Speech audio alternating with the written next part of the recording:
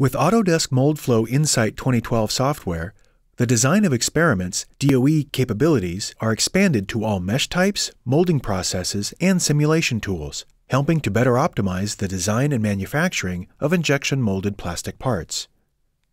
Understanding how design variations and process parameters impact the manufacturing and quality of plastic parts is critical when producing injection mold and tool designs. DOE helps you better understand which design parameters produce higher quality parts and the processing parameters that provide the most efficient and stable manufacturing process.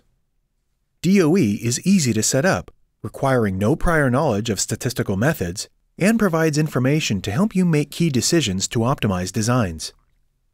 Perform amazing simulations with Autodesk Moldflow 2012 software.